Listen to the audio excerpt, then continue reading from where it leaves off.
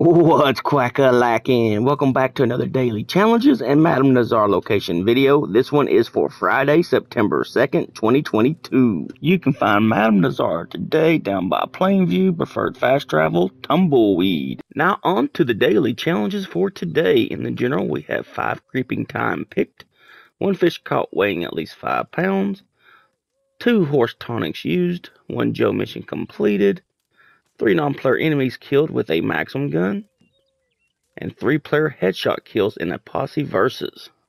Bounty Hunter, two bounties brought in from Lemoyne posters, one bounty completed without killing an enemy or bounty target, three Eagle Eye used to track a bounty target. Trader, three camp stews eaten, distance delivery wagon traveled on mission, seven medium animal carcasses donated to Cripps. Collector, five bird eggs found, six collectibles collected, Three collector maps used. Moonshine. One moonshine bar changed to core. Four moonshine served to other players at the bar. One moonshine sold with at least 18 bottles intact. Naturalist. Three desert animal samples taken. Three forest river animal samples taken. Two sedated animals revived. Now on to the map to show you some locations for today. These three markers here are for your creeping thyme.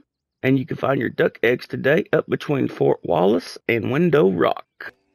If this video was helpful or informative, please be so kind to leave it a like. Subscribe to the channel if you haven't done so yet, and click the bell to turn on notifications if you're interested in watching more.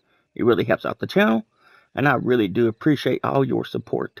Also, if you have any questions or feedback, just leave a comment in the comment section of the video. I hope everyone has a great day.